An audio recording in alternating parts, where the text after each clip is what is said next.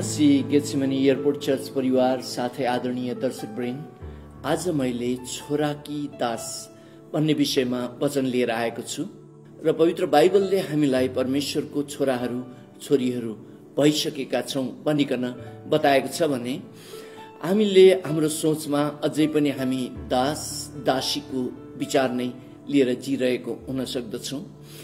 त्यसर्थ प्रिय दाजुभाइ दिदीबहिनीहरू यही कुराहरू सम्बन्धी जो अर्थ लाग्ने गरेर प्रभु येसुले लुकाको पुस्तक पन्ध्र अध्यायमा एक उडन्ते पुत्र सम्बन्धीको दृष्टान्त भन्नुभयो। त्यो दृष्टान्तमा एउटा बुवाका दुईजना छोराहरू छन् र एकजना छोरा चाहिँ गल्ती गरेर दासत्वको महसुस गर्न पुगेका छन्।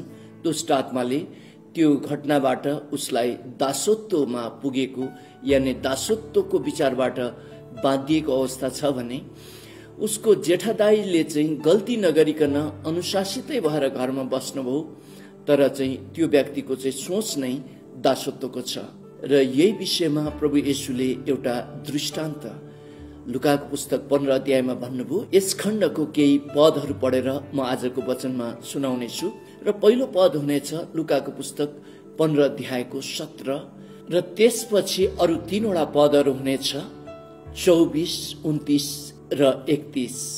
र सत्र पदमा यसरी लेखिएको छ जब त्यसको चेत खुल्यो त्यसले भन्यो मेरो बुबाका धेरै जेलादारी नोकरहरू भरपेट खाएर उबार्ने गर्दछन्। तर म चाहिँ भोकले मरिरहेछु। यसपछि यो उडन्ते पुत्रको चेत खुलेपछि ऊ बुवा भएकोमा जाँदछ। र उसले बुवालाई यही नै कुरा गर्दछ। मलाई तपाईँले तपाईँको दासहरू मध्येको एकजना दास बनाएर नियुक्ति गर्नुहोस् बुवा भनिकन उसले यो अनुरोध बुवालाई गर्दछ। यो कुरालाई म उन्नाइस पदबाट पढिदिन्छु। अब उपरान्त म तपाईँको छोरा भनिन योग्यको छुइनँ।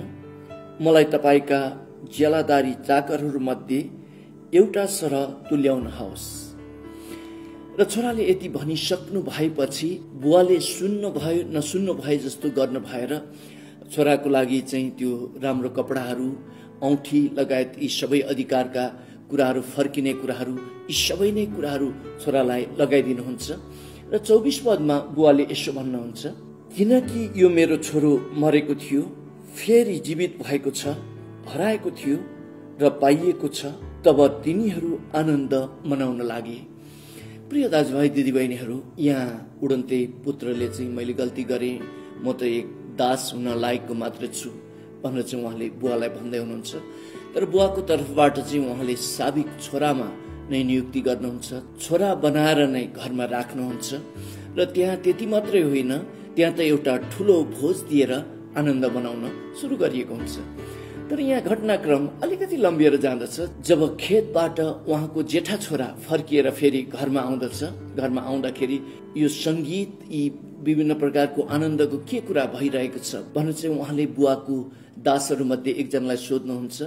सोध्नु हुँदाखेरि उहाँहरूले भन्नुहुन्छ कि तपाईँको हराएको भाइ फर्केर आउनु भएको छ र बुवा साह्रै खुसी हुनु भएर यहाँ एउटा आनन्द यानि उसलाई फिर्ती स्वागत वेलकम ब्याकको पार्टी दिइरहेको छ। भनेर चाहिँ उहाँले भन्नु हुँदाखेरि यो व्यक्ति खुसी हुनुपर्नेमा त यो व्यक्ति रिसाउँदछ। र ऊ त भित्र पस्ने मान्दैन। त्यस अवस्थामा बुवा आउनु भएर यो व्यक्तिलाई सम्झाइ बुझाइ गर्न हुँदाखेरि यो व्यक्तिले बुवालाई भन्नुहुन्छ कि तपाईँले मलाई ठिक न्याय गर्नु भएन। म तपाईँसँग अनुशासित भएर तपाईँको काम गरेर म यति धेरै समयदेखि बसिरहेको छु। तपाईँले मलाई कुनै पनि एउटा एउटा पाठो पनि मेरो साथीहरूसँग एउटा भोज मनाउनको लागि कहिल्यै दिनु भएन। र तपाईँले मलाई यस प्रकारको व्यवहार गर्नुभयो म कुनै हालतमा भित्र भोजमा यानि पार्टीमा जाँदै जान्न। र यो छोराले भन्दै गरेको कुरा उन्तिस पदलाई पनि म पढिदिनेछु र यस खण्डमा यसरी लेखिएको छ। तर त्यसले बाबुलाई भन्यो हेर्नुहोस् यतिका वर्ष मैले तपाईँको सेवा गरिरहेको छु अनि तपाईँको आज्ञा कहिले उल्लङ्घन गरिन। तापनि मैले आफ्नो साथीहरूसँग आनन्द मनाउन तपाईँले मलाई एउटा पाठो पनि कहिले दिनु भएन। यसको प्रत्युत्तरमा बुवाले एकतिस पदमा यो मेरो जति सबै कुराहरू जे जे छ यो त सबै तेरो नै त थियो। तैँले त्यो खाएको भए भइहाल्थ्यो। तैँले त्यस प्रकारले आनन्द मनाएको भए भइहाल्थ्यो।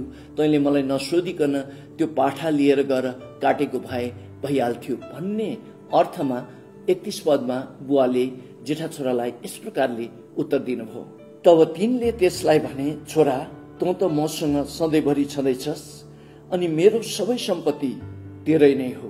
प्रिय दाजुभाइ दिदी बहिनीहरू यस खण्डमा सृष्टिकर्ता परमेश्वर मसिया यसु भएर धरतीमा आउनु हुँदाखेरि एकजना बुवा जो राम्रो सबैले देखिरहेका छन् तर पनि दुवै छोराहरूमा दुष्ट आत्माले दासत्वको विचारहरू दासत्वको सोचहरू हालेको कारणले गर्दाखेरि बडा बिजोगसँग जिन्दगी काटिराख्नु भएको यानि परिवारलाई लिएर गइराख्नु भएको कुराहरू चाहिँ यस दृष्टान्तमा प्रभु येशुले स्पष्ट गर्नुभएको छ। कान्छा छोरा छ जसले गल्ती गरेर ऊ दासत्वमा बाँधिएर त्यो विचार लिएर घर फर्किएको छ। र जेठा छोरा छ जो अनुशासित छ घर छोड्दैन तर ऊ पनि दासत्वमै ऊ बाँधिएको छ। यी दुवै छोराहरू एक न एक प्रकारको दुष्ट आत्माको बन्धनबाट बाँधिएको हामी देख्दछौँ। प्रभु येशुले योहन्नाको पुस्तक आठ अध्यायको बत्तीस पदमा भन्नुभयो तिमीहरूले सत्य थाहा पाउनेछौ र सत्यले तिमीहरूलाई स्वतन्त्र पार्नुहुनेछ। र प्रिय दाजुभाइ दिदीबहिनीहरू यहाँ प्रभु येशुले भन्नुभएको कुरा चाहिँ बुवाको मनमा बुवाको हृदयमा यी दुवै छोराहरू कुनै हालतमा पनि उहाँको सोचमा दासत्वमा हुनुहुन्न। तर यी दुई छोराहरूलाई चाहिँ दुष्टात्माले छलेर दासत्वको सोचमा राखेको अवस्था छ।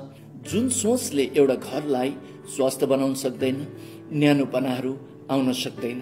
योहनाको पुस्तक एक अध्यायको बाह्र र तेह्र पदमा पवित्र बाइबलले यो स्पष्ट गर्दछ जुन दिन तपाईँले ख्रिस यसुलाई मुक्तिदाता भनेर विश्वास गर्नुभयो त्यो दिन तपाईँ परमेश्वरको सन्तान हुन पुग्नुभयो। तपाईँ कि परमेश्वरको छोरा? कि चाहिँ तपाईँ परमेश्वरको छोरी हुन पुग्नुभयो। र तेह्र पदले बताउँदछ कि परमेश्वरमा तपाईँले जन्म लिनुभयो। र प्रिय दाजुभाइ दिदीबहिनीहरू जब तपाईँ सर्वशक्तिमान परमेश्वरको छोरा यानि छोरी हुनुभएको छ भने उहाँ सर्वशक्तिमान परमेश्वर चाहिँ राजाहरूको पनि महाराजा र प्रभुहरूको पनि महाप्रभु हुनुहुन्छ। पनिकन बाइबलले स्पष्ट गरेको छ? त्यसको अर्थ तपाईँ यो राजहरू र यो रागीहरू उहाँले बनाइसक्नु भएको छ। र अब बाँकी संसारमा तपाईँ जीवित रहनु हुँदाखेरि म परमेश्वरको छोरा हुँ यानि म परमेश्वरको छोरी हुँ। म राजकुमार हुँ यानि म राजकुमारी हुँ। भन्ने यो सत्य विचारमा तपाईँ जिउन पर्छ भनेर चाहिँ बाइबलले बताएको हो। मैले यो सुन्दै थिएँ कि जो जङ्गलमा सिंह बस्दछ र सिंहले जहिले पनि म यो जङ्गलको राजा हुँ भन्ने चाहिँ उसले सम्झिन्छ अरे। र यो पशु हो र यो उसले म जङ्गलको राजा हुँ भनेर सम्झिनु यो सत्य पनि होइन। यद्यपि उसले म राजा हुँ भनेर सम्झिएको कारणले गर्दाखेरि ऊभन्दा ठुल्ठुलो जन्तुहरू जङ्गलमा भए तापनि देखिए तापनि ती जन्तुहरूलाई जङ्गलको राजा भनेर चाहिँ भनिने चलन छैन तर सिंहलाई नै जङ्गलको राजा भनिन्छ।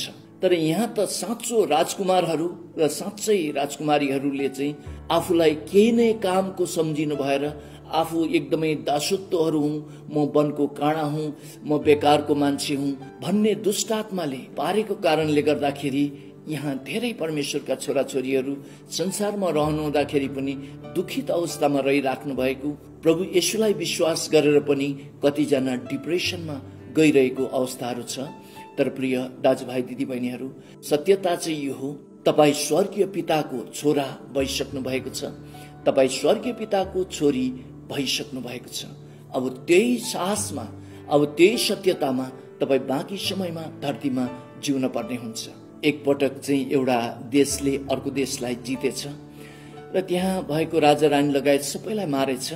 मारे पछाडि राजकुमारलाई यानि यो राजधिराजलाई चाहिँ समातेर त्यो जितेको राजाले आफ्नो देशमा लिएर गएछन् र उसले भनेछ ए फलाना तिमी त अहिले हाम्रो दास छौ अब तिमीलाई मैले कस्तो व्यवहार गरौँ भन्ने तिमी चाहन्छौ?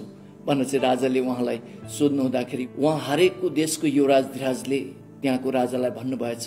एउटा राजाले अर्को राजालाई जसरी व्यवहार गर्नुपर्छ तपाईँले मसँग त्यस्तै व्यवहार गर्नुहोस्। प्रिय दाजुभाइ दिदीबहिनीहरू ऊ हारेकै भए तापनि ऊ त्यहाँ दासत्वमा भएर गएको भए तापनि ऊ भित्र चाहिँ म एक युवराज धिराज हुँ भन्ने त्यो साहस अझै पनि बाँकी रहेको देखिएछ। अनि त्यो साहस त्यो विदेशको राजाले देख्न भएपछि मलाई यस्तै साहसी कर्मचारीहरू चाहिन्छ भनेर चाहिँ उहाँ युवराज धिराजलाई चाहिँ एउटा प्रान्तको गभर्नर बनाइदिनु भएछ। र प्रिय दाजुभाइ दिदीबहिनीहरू पवित्र बाइबलले यो स्पष्ट गर्दछ तपाईँ सर्वशक्तिमान परमेश्वरको महाराजाको छोरा भइसक्नु भएको छ र महाराजाको छोरी भइसक्नु भएको छ। र यो सत्यतालाई विश्वास गर्नु भएर त्यही साहसमा बाँकी जिन्दगी धरतीमा जिउन पर्छ भनेर चाहिँ बाइबलले बताएको हो। र प्रभु येशुले योना पुस्तक आठको बत्तीसमा भनिसक्नु भएको छ तिमीहरूले सत्य थाहा पाउनेछौ र सत्यले तिमीहरूलाई स्वतन्त्र बनाउनेछ। त्यस्तै गरेर होसेको पुस्तक चारको छले भन्छ मेरो प्रजाहरू ज्ञानको कमीले नाश भए भनेर। र ज्ञानको कमीले कसरी नाश भए?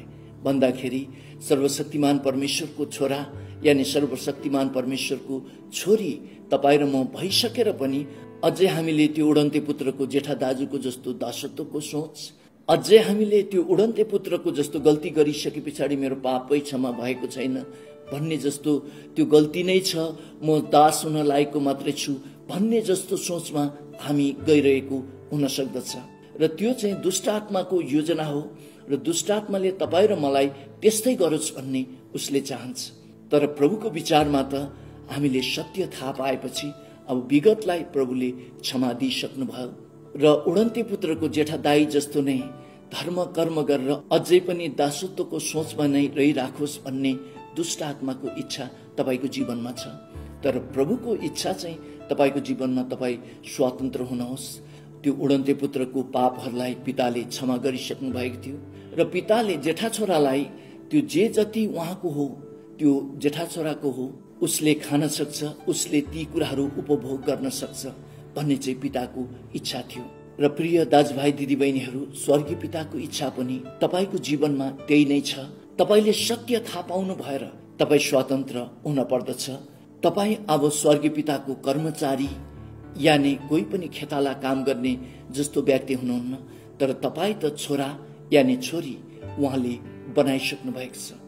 र जे जे स्वर्गीय पिताको हो त्यो तपाईँको हो भनिकन बाइबलले स्पष्ट गर्दछ। र त्यो विश्वासमा र त्यो सत्यतामा तपाईँ र म उभिन पर्छ भनेर चाहिँ बाइबलले बताएको हो। उदाहरणको लागि बिजुली मर्मत गर्ने एकजना कर्मचारी आउनु भएछ यानि कुनै पनि टेक्निसियन आएर चाहिँ तपाईँको घरमा बिजुली मर्मत गर्नु भएछ। त्यस अवस्थामा उहाँ टेक्निसियन गएर तपाईँको घरको रेफ्रिजरेटरबाट चाहिँ खाना निकालेर आफै खान सक्नुहुन्न। त्यस समय तपाईँको घरको जो फिल्टरबाट सिधै पानीहरू उगाएर त्यो व्यक्तिले खान सक्नुहुन्न। त्यो व्यक्तिले अन्य कुनै पनि चिजहरू त्यसरी चलाउन सक्नुहुन्न। र त्यो व्यक्तिले टोयलेट चलाउनको लागि पनि म तपाईँको टोयलेट चलाउन सक्छु कि भनेर चाहिँ उहाँले त्यो भन्नुहुन्छ। पानी खानको लागि पनि एक गिलास पानी पिउन सक्छु कि भनेर चाहिँ त्यो व्यक्तिले अनुमति माग्नुहुन्छ। किनकि प्रिय दाजुभाइ दिदीबहिनीहरू त्यो व्यक्ति चाहिँ तपाईँको घरमा खेताला यानि तपाईँको घरमा एक कर्मचारीको रूपमा काम गर्ने व्यक्तिको रूपमा आएर काम गर्नुभएको हुँदछ। तर जब छोरा छोरीहरूको कुरा आउँदछ छोरा छोरीहरूले चाहिँ हरेकचोटि आएर बुवालाई आमालाई म टोयलेट चलाउन सक्छु कि? भनेर चाहिँ सोध्नु भयो भने हरेक समय आएर म एक गिलास पानी खान सक्छु कि आमा? पानी खान सक्छु कि बुवा? भनेर चाहिँ सोध्नु भयो भने तपाईँको मनमा चिसो पस्नु सुरु गर्छ। यो किन? यो ठिक दिमागमा चाहिँ छ कि छैन? भन्ने चाहिँ तपाईँलाई लाग्न सक्छ प्रिय दाजुभाइ दिदीबहिनीहरू। त्यसले गर्दाखेरि यहाँ काम गर्ने व्यक्ति यानि कर्मचारी र छोराछोरीमा फरक भएको देखिँदछ र योनाको पुस्तक एक अध्यायको बाह्र र तेह्र पद अनुसार तपाईँ र म परमेश्वरको कर्मचारी अब होइन तर उहाँको छोराछोरी हामी भएका छौँ। र उहाँले हामीलाई विभिन्न प्रकारले अनुशासन पनि गर्दै लिएर जानुहुन्छ। त्यस अवस्थामा हुनसक्छ हामीले उहाँको माया नबुझ्न सकौँला तर उहाँको निचोड अवस्था जुन गन्तव्य चाहिँ तपाईँको भलाइकै लागि हुन्छ। मैले एउटा दृष्टान्तको कथा सुनेको थिएँ। एकजना छोरालाई बुवाले जहिले पनि तैँले राम्रो पढिनस् तैँले राम्रो डिभिजन ल्याइनस् भनेर चाहिँ त्यसरी गाली गरिराख्नु हुँदो रहेछ। छोराले पनि एकदम अभ्यास गरेर परिश्रम गरेर त्यो ताका फर्स्ट लिएर आएछ र उसले चाहिँ बुवालाई मार्कसिट लगेर चाहिँ देखाएछ। बुवा हेर्नुहोस् त मैले फर्स्ट गरेँ स्कुलमा। भनेर चाहिँ मार्कसिट दिएछ। दिँदाखेरि बुवाले मार्कसिट यसो हेर्नुभयो। मार्कसिट हेरिसकेपछि छ्या तेरो कस्तो स्कुल? यति मार्क्स ल्याएर पनि क्लास फर्स्ट गर्ने भनेर मार्कसिट फ्याँक्दै फ्याँकिदिनु भएछ। अनि फ्याँक्दाखेरि छोरालाई मनमा सोच यो आएछ उहाँ बुवा मेरो खासमा भलाइ चाहनुहुन्छ कि? उहाँ त मेरो दुश्मनै हो। जे गर्दाखेरि पनि यो भएन त्यो भएन मात्रै भन्नुहुन्छ। भनेर चाहिँ छोराले त्यो सम्झिन्छन् र गएर दाबबाट खुकुरी निकालेर आज चाहिँ बुवालाई म मार्छु भनेर चाहिँ उसले दाबबाट खुकुरी निकालेर बाहिर जाने ढोकाको त्यो कापमा लुकेर उभिएर बसिरहेछ। जब बुवा बाहिर निक्लिनुहुन्छ म उहाँलाई मार्छु भनेर चाहिँ उसले यो योजनामा त्यहाँ उभिएको हुँदछ र किचनमा बुवा र आमा गफ गर्दै गरेको उसले सुन्दछ र त्यो कुराकानीमा आमाले बुवालाई भन्छन् तपाईँले जे गरे पनि छोरालाई किन जस दिनुहुन्न?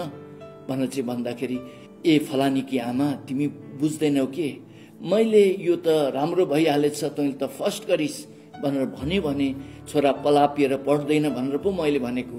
म छोरालाई कहिले पनि नराम्रो होस् भनेर भन्छु होला र मैले त मेरो छोराले त अझ धेरै मार्क्स ल्याओस् अझ पछि पनि फर्स्ट फर्स्ट गर्दै जाओस् भन्ने उद्देश्यमा पो मैले त्यो भनेको तैँले अन्यथा नलिन। भनेर चाहिँ उहाँले भन्नुहुँदाखेरि छोराको हातबाट खुकुरी भुइँमा टङ्लङ्गै खसेछ अरे र कुद्दै कुद्दै आएर चाहिँ छोराले बुवाको खुट्टामा समातेर रुँदै पश्चाताप गर्नु भएछ अरे। र प्रिय दाजुभाइ दिदीबहिनीहरू कहिलेकाहीँ आमा बुवाले जो अनुशासन छोरालाई यानि छोरीलाई गरेर जानुहुन्छ त्यस समय दुष्टात्माले त्यो कुरालाई अर्कै अर्थ लगाएर दासत्वको सोचमा ल्याएर त्यो छोराछोरीहरूलाई आक्रामक पनि बनाइदिन्छ। र त्यो छोराछोरीहरूलाई चाहिँ हत्या गर्नेसम्म पनि पुर्याइदिन्छ जुन अहिले भर्खरै मैले त्यो घटनामा तपाईँहरूलाई बताइरहेको थिएँ।